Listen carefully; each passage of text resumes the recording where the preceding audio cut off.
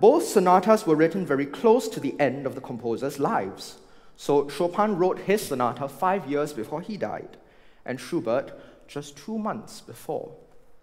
And there can be a very real temptation, I think, to speculate that this music must have some deep philosophical or existential meaning behind it.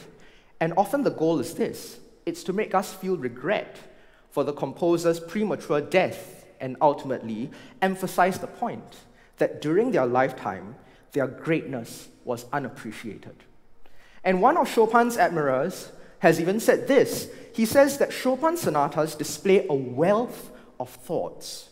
So, this, he claims, the wealth of thoughts, made it difficult for Chopin to maintain proportion, to develop thematic balance, and to adhere to the obligatory rules of the genre.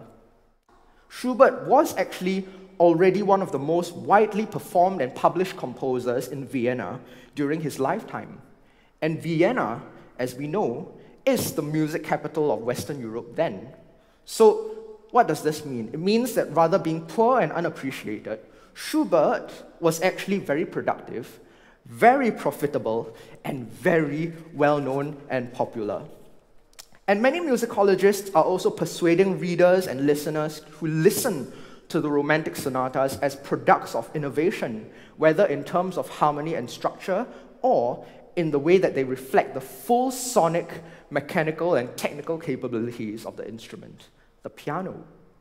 And some sources tell us that both Chopin and Schubert were already celebrated as great writers of melody by musicians and audiences of their time.